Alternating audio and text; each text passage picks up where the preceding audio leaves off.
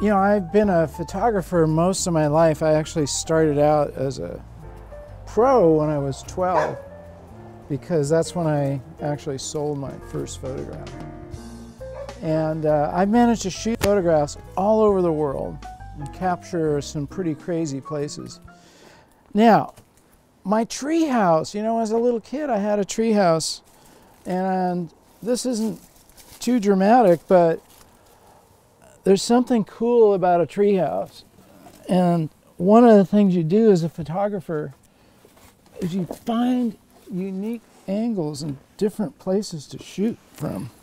Because if you're always shooting from the same angle all the time, it's probably going to be boring. So look for places that you can find like this that give you a different perspective. What I want to talk about today what I want to address right here is the conflict that a lot of us run into in photography. And there's a couple of parts to it. One is, what do you shoot?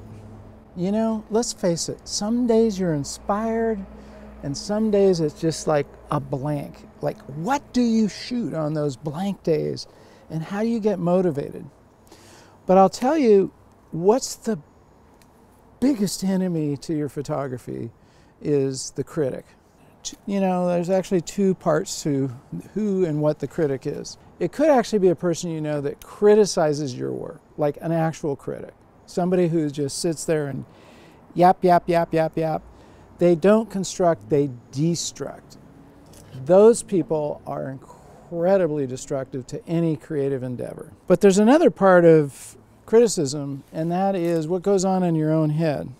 You know those like nagging doubts, and you go, was that good enough? Or it really wasn't good enough. It sucks. My photographs suck. That mental conflict and the actual critic are the things that can get in the way of your own photography.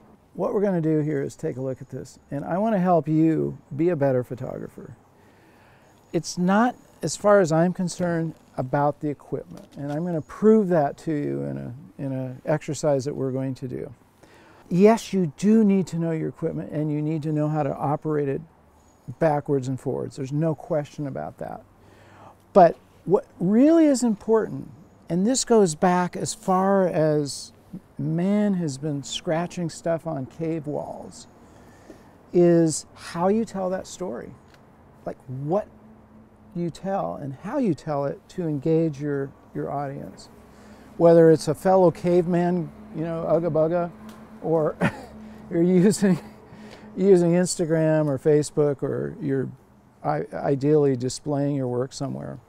You want to show what you saw, what you felt, and pass that along to somebody else. So you know what? I've done a whole kind of research on this, and I found there's really only two things that you really, really, really have to know to get your story across. What are those two things? The two skills are one, composition. Composition just means how you use the frame of your camera to put your subject in. Okay, and there's lots of different ways to do that. We could probably go as high as 100, you know, very, very well defined different ways to set up the image in your camera. That's composition. The second thing is lighting, natural lighting. So right now we have a hazy day. It's giving us a softbox effect. The sun is just now starting to come through here. But there's a lot of different lighting techniques. You know, you've got the golden hours, you've got the blue hour that happens after the golden hours. You've, you've got, what do you do like right now in midday, you know? So those are the things that my new book I'm actually delving into. And I want your help. I want to have you help me help you by giving me your feedback and your questions. Like, what do you want to know about composition and lighting? Getting back to this uh, enemy thing that gets in the way of your creativity. So there's two possibilities. One, you're listening to critics. Don't do that. Throw that out the window. Just don't listen to them. Uh, by the way, there's a difference between a critic and a coach. A coach is somebody who gives you actual feedback that you can make an improvement with. Dude, it's out of focus. you know, it's like, I remember some of my earliest photographs. I had a, a mentor, you know, and he would he would he would actually type notes on the back of my prints. He'd print them for me, and then he typed his notes. Kind of amazing. I still have those. But he'd he'd put a note in there like, "What would have happened if you took one step closer?" Which, by the way, is usually good advice.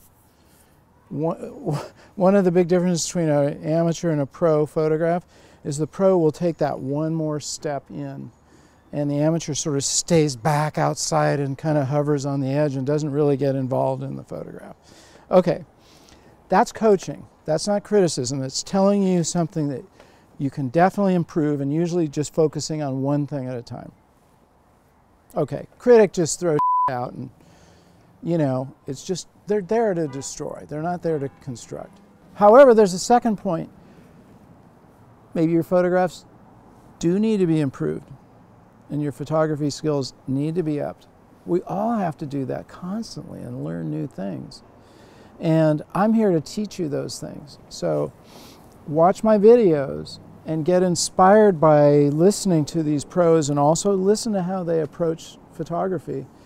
Don't forget, you get a copy of this book. The reason I wrote it is because I wanted to give you a handbook that covered the entire range of photography from beginning to end. Remember that it's called a cycle of photography, and it starts with visualization at the center, which means you getting in your mind how you envision the photograph to be shot. Just like this.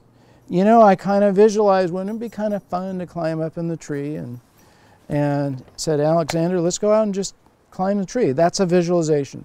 You get the idea in your own mind. How you strengthen your visualization is you can look at others' work, get ideas from them, not to copy it, but to get inspired. Joey L., fantastic photographer, told me, you know, he got his inspiration for his lighting and composition from looking at the masters. Same thing with Bob Holmes looking at Vermeer, looking at lighting from various painters and artists that you can incorporate into your own photography. So that's the center of this whole thing. The next thing is you definitely do need to know your equipment. You got to know what it does. And I describe all the basics of a camera in here. But it doesn't matter whether you're using an expensive DSLR or a mirrorless or an iPhone or another smartphone. You've got a piece of equipment there that you need to know how to use. Third, third thing is uh, capture. And capture is where you're bl basically blending your use of the equipment with your vision. And again, remember I mentioned that capture boils down to composition and lighting. So I'm going to delve deep into those things, but I cover I cover them adequately in this book.